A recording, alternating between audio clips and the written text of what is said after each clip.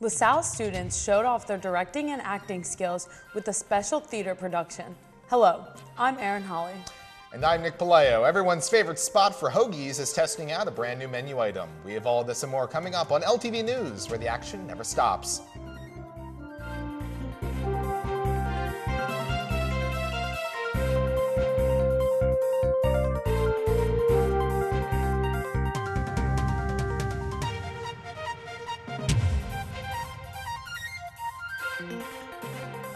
Hello and welcome to LTV News, where we bring you everything from 20th and Olney Avenue, Philadelphia, and the world. There is a lot to catch up on in the next half hour as producer Sam Long had the chance to sit down with the committee head of Global Language Awareness Week. So let's hear the buzz around campus.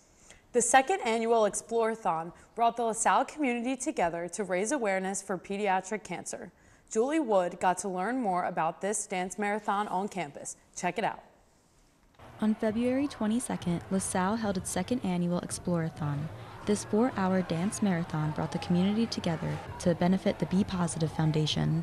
It's also known as the Andrew McDonough Foundation, and pretty much that foundation is located in Delaware and focuses on getting families financial assistance if their child is dealing with cancer. For us, it's a smaller base of like what Thon, like at Penn State or UDEL, they do Be Positive there as well. Much smaller base, but we're trying to make it bigger every year. Uh, it's just four hours of just getting together with your friends, uh, getting to understand why we're doing this, and also understanding just having a great time. The night consisted of food, dancing, performances,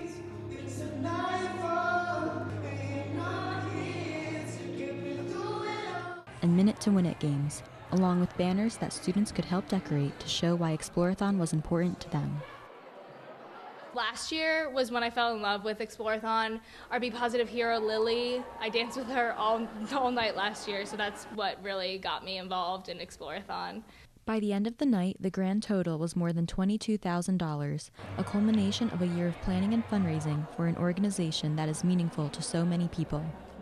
I think working with so many different people has been the best part of this exec is really diverse and we come from a lot of different backgrounds. Everyone has their own story on why they wanted to help out Be Positive Foundation and Explorathon. So that's been really cool to learn everyone's why and why they um, felt so strong to help out. For LTV News, I'm Julie Wood. So, Nick, I'm sad to hear that you missed Explorathon. It was so much fun. I know this is the second year they've been doing it. I know Penn State just had their thon, and that's Yeah, always a it was the same event. weekend. right? And I'm so glad that LaSalle had the idea to bring a Mm-hmm. thon, an Explorathon, adding on our Explore mascot onto this idea. Yeah. Um, and I know it was a great time. I heard the dance team was there, cheer was there, there Yeah. was food. It was very lively. Did you do a lot of dancing, or? I didn't get to do a lot of dancing because I was actually also filming it with Julie um, for my Comp 208 class. I'm also doing a package on Explorathon. Okay. So I got to learn a lot about it and um, pediatric cancer fundraising. Very exciting. So Very. we'll look out for uh, for that next year. On February 21st and 22nd, the Mask held its annual Mavericks show that allows students to show off their writing and acting skills for one weekend. Mavericks are one-act plays that are written and produced by students, and while the Mask hosts this event, participation is not limited to just Mask members. Students are able to submit scripts, cast their shows with those willing to perform on the Dan Rodden stage, and create props and costumes. This year's plays, which are traditionally more lighthearted and comedy-based, included titles like Turbulence, The Wise Guy Convention, and Fairly Odd Murders, which was a fun take on the show Fairly Odd Parents. If you missed this mask production, look out for their spring play, and then there were none. Fran Dunphy, a LaSalle alumnus, will receive an honorary degree from the university at LaSalle's 2020 commencement. Dunphy was a former basketball player at LaSalle and went on to win more games than any other coach in the Philadelphia Big Five history.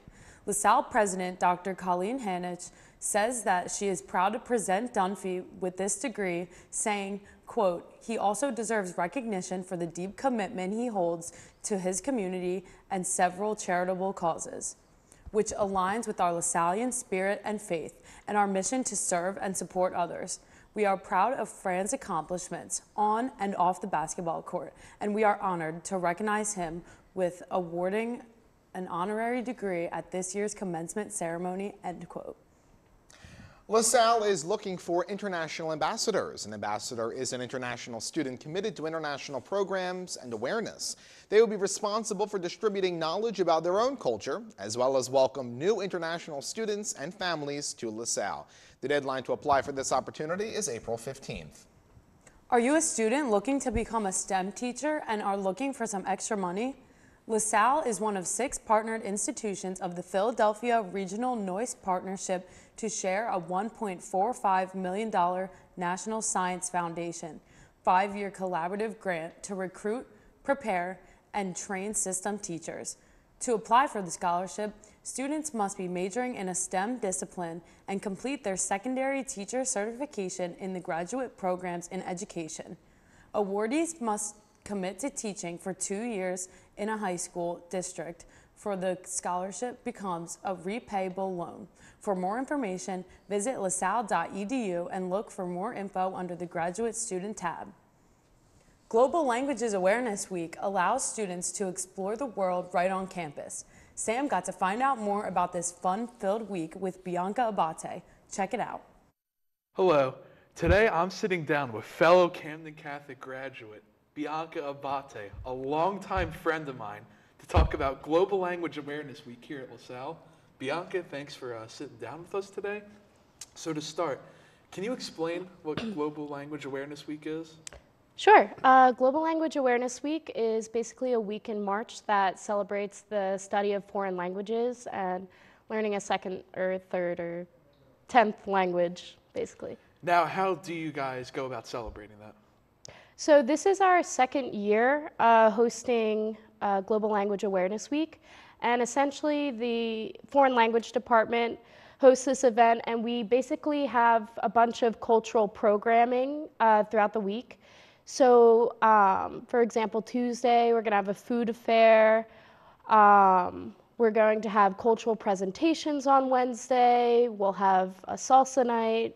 Uh, we have a job fair Thursday. We also have um, we also have a Japanese cultural night, and we have other uh, cultural programming as well. Okay, so you said cultural presentations. Are you guys going to be bringing in outside people for that, or is it just like in-house language professors, department chairs here?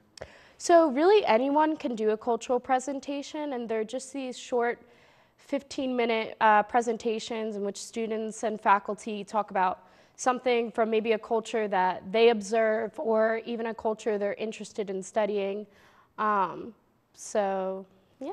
So you said uh, culture interested in studying. So you don't have to have a full understanding of the culture in order to give any kind of presentation like that. You can just do general research. Um, you could if you wanted to. It's pretty informal. We just want to celebrate Okay. uh, learning about uh, different types of practices and people in the world. Now, are there any differences from how it was celebrated last year to this year? Any changes to it? Anything better? Uh, last year, the first year was definitely a very grassroots uh, movement for the foreign language department to pull this event off. But um, this year, we have a lot more people um, in the planning process, so we definitely have a lot more of an organized curriculum. We're also adding the Japanese culture night. Um, so those are some of the changes that we'll see. Did you have a lot more time to plan this year compared to last year? Uh, we did. It's definitely kind of hard to get together because we sort of start in the fall, and then with the break, uh, we have to account for that missed time. So we meet every Tuesday um, just to go over uh, these uh, the planning process. Now, after you ran it for the first time last year, have you seen a much bigger turnout for people who want to get involved, people who are trying to join up, everything like that? Definitely. Uh, people especially ask about the food fair, which is happening on Tuesday during the free period in Olney. Um, people always ask about that all the time. That's definitely our most popular event. So my roommate always tells me to remind her when it's going to happen. Sorry to correct you, but you mean the Heyman building now. Oh, the Heyman. Names the change. It's all Heyman. It's all right. It It's happens. Olney in my heart. Yeah, me too. But uh, so, what will you be doing for the event? Um, so basically, I am the committee chair for Global Languages Awareness Week. Um, I, uh, the, as far as which event I'll be undertaking, I, I would say I've uh, sort of helped in facilitating uh, the food fair because that's my favorite event. But uh, we sort of just work as a team, um, really, with everything, and we delegate different responsibilities to everyone. Okay, uh, so what language and culture is what you're like focusing on for this event? Um, we try to represent as many cultures uh, as we can. Um, so, I mean, really, we have uh, we have anything from say Spanish and Italian to Russian and Ukrainian. Uh, at the food fair, we'll have uh, things like Malaysian food, Afghan food. Um, so we really just want to represent every part of the world that we uh, observe in LaSalle. Now, what language is your specialization in? Me? Yes. So um, at LaSalle, I've studied uh, Russian, Italian, and German. Um, but I would say I'm best with Russian. Actually, my shirt today is in Russian. Okay, Yep. that's interesting. Yeah, Yep. you said in high school we studied Latin together. We did. I, we Go. were both Latin scholars. Yes, we were both Latin scholars. And it's a living language. So, since you study Russian, can you tell me how to say "I'm gonna send it back to the desk" in Russian? If you don't, if you can't translate that, it's not a big deal. Yeah, that's a tough one. I don't. I don't know that I. Pismeni stol is a desk. I'm gonna send it back. That's that's a tough one. I don't know if I could do that. All right, well, I'm gonna send it back to what she said. Don't remember it, but How about this? До свидания. Bye. what she said. I'm gonna send it back to the desk. Thanks. I think this Global Languages Awareness Week is a great idea, uh, especially for our campus. Yeah, me too. LaSalle is very diverse student it- population. Yeah, so not just with students within the United States, we have students coming from the West Coast and from down south, um, but from students all over the world as well. Mm-hmm. Yeah. And it really helps that we are part of a larger LaSallian network. So people are coming from Africa, from Asia, from Europe, and just getting to interact with those different students and celebrate it is really cool. I know there's one event called Anna March with sushi. There's going to be music. Yeah, I just heard about that. Um, Sounds like a lot of fun. Games. Yeah, so we'll have to keep an eye out for that. Well, it's time for our first break, but coming up, an iconic city figure was caught trespassing a major event. Stay tuned.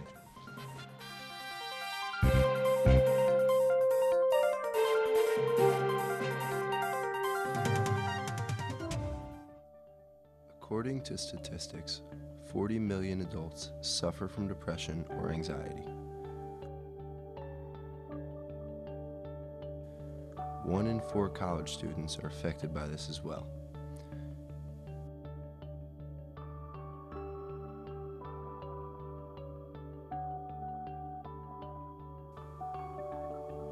You never know who is going through something, so you should always be kind to one another.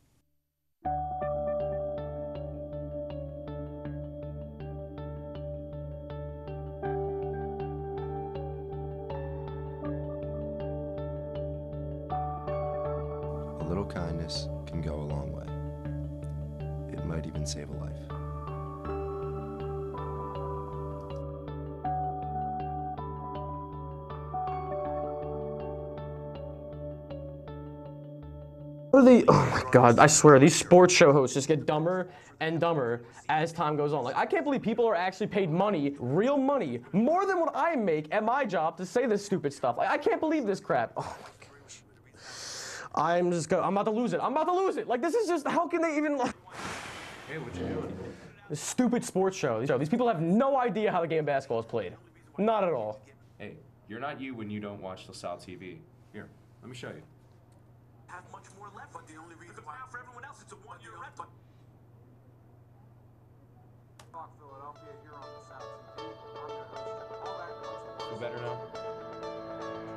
Better. You're not you when you're not watching LaSalle TV. To stay up to date, follow us on Twitter, Facebook, and Instagram.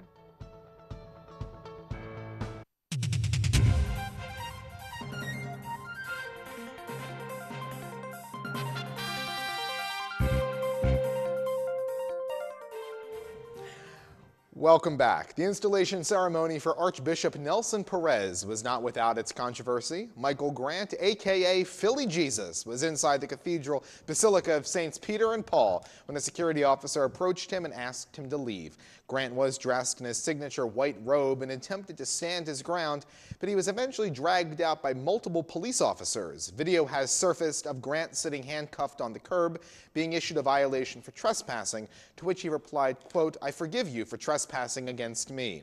Grant is planning on taking legal action, feeling he was unfairly targeted and for violating his religious rights. A new SEPTA feature will ease the concerns of commuters on the Broad Street line. SEPTA has recently started the process of installing countdown timers at every stop on the line with the intent of also installing them on the Market Frankford line. The timers will display how long it will take for the next train to arrive at any given stop. The system seems similar to the already implemented system in many regional rail stations, including the Center City 30th Street station, as well as every stop on the New York City Metro. SEPTA says that it plans to install the last countdown clock on the Broad Street line by November 2020, while the Market Frankford line is planned for 2022. A Philly nonprofit in Center City has made it its mission to connect the nation's military veterans with rescued dogs. Pets for Vets focuses on training dogs to become loyal companions to veterans to help them improve their mental health. Many veterans deal with the daily struggles of PTSD and loneliness. The dogs act as a way to bring comfort and support to help handle these challenges. The program has so far had overwhelming success, and the nonprofit hopes to expand, but they are looking for more trainers and foster parents for the dogs. If you're interested in learning more about this nonprofit or looking to volunteer and help, visit petsforvets.com. A lucky Wawa customer in southwest Philadelphia is $3 million richer after recently winning a scratch off game with a ticket purchased at this local convenience store. This news comes just as another $3 million lottery ticket was sold at an LMP Express store in northeast Philadelphia. The recent winning ticket was purchased at the Wawa on West Bartram Avenue last week. But the customer isn't the only one benefiting after this lucky purchase. The Wawa store itself will receive a $10,000 bonus just for selling the ticket. Now that's some good luck. In other recent news about Philly's favorite store, Wawa says that it is introducing hamburgers, breaded chicken sandwiches, and waffle fries at a half dozen stores in the evenings as part of a larger dinner platform. The Philadelphia Business Journal first reported the news on Wawa's test. The news immediately spread on social media among Wawa fans and pitted the chain against McDonald's, Popeyes, and other fast food chains. The reason for Wawa's attempt at luring in a dinner crowd is due to Americans typically filling up their gas tanks during the evenings. So convenience store owners are seeking an opportunity to bring them inside during their visit. Not all Wawas are participating in this change just yet, but the restaurant industry should pay close attention to convenience retailers. Coming up after this last break, another fast food chain is making a unique food debut to their menu. We'll be right back.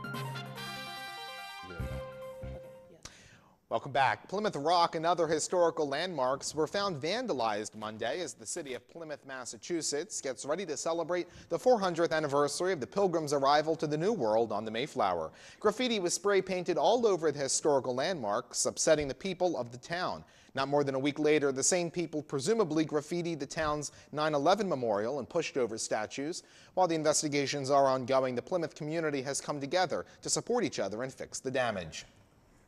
President Trump has been under criticism following a series of controversial pardons of supporters that were convicted of corruption. Trump granted clemency to 11 people last Tuesday.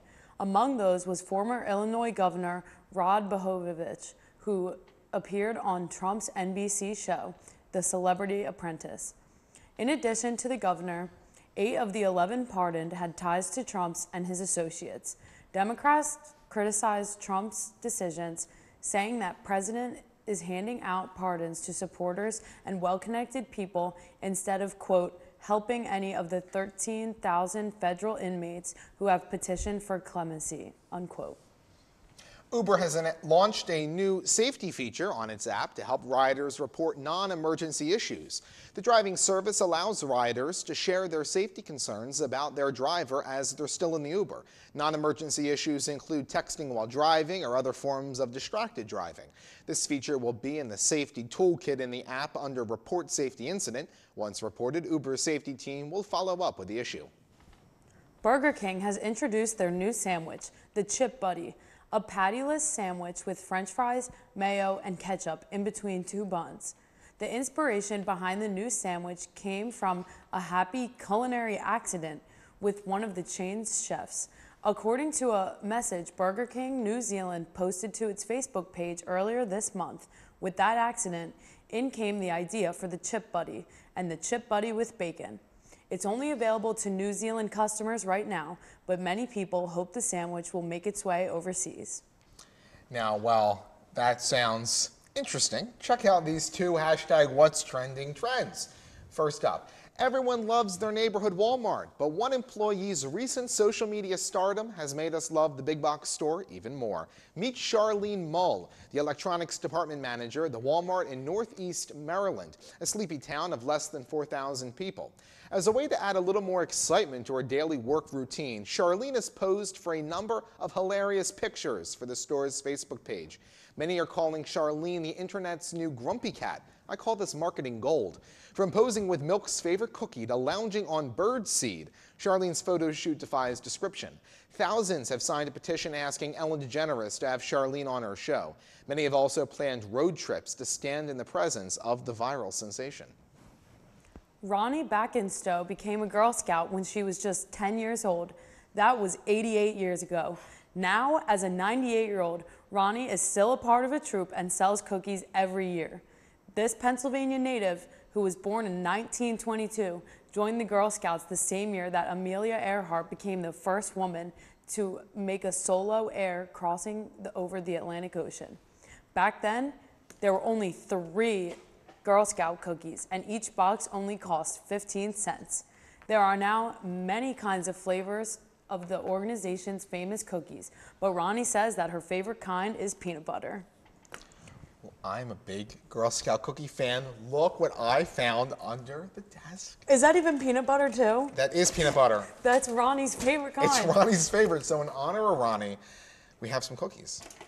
You some? should eat one. I can't Why? eat Why can't one. you have any? I can't eat one because I gave cookies up for Lent. Oh, y'all, that's fine. And I'm also not a big fan of peanut butter, but they're all for you. so what's your favorite Girl Scout cookie? As I should eating these. Um, probably the thanks a lots. The they're the those? shortbread ones with the chocolate on the back, and they have thank you on them in different languages. That's so cool. I know, I love those. I like Thin Mints. I like peanut butter patties. Actually, those are no I'm, Thin s- Mints. I'm so picky. I don't really even like thin mints either. What's wrong with Thin Mints? What did I, they ever do to you? Well, What alright, I ever do just don't like peanut butter mixed with chocolate or mint mixed with chocolate. You? You like anything? I'm really picky. I've, I've told you this before. yeah, we can't have we have can't have regular milk. Yeah, I don't like regular milk either. If you ate those with milk, I would just, I don't know what I would do right Well, I now. have milk under the. I'm No. just kidding. I don't have milk. I don't Can you know. imagine if we get a mini fridge under here? Oh, keep my milk under secret here. mini fridge under the desk. All right. Well, that just about does it for this episode, but be sure to find us on the web as well as the rest of LaSalle TV on our Facebook page. We'd love to hear your thoughts, so tweet at us using our Twitter handle and start the conversation. If you missed the scoop and want to see it, you can find episodes on YouTube on our LaSalle TV Philly page. Until next time, for Aaron Holly, Sam Long, and the entire crew, I'm Nick Paleo. Thanks for watching LTV News, where the action never stops.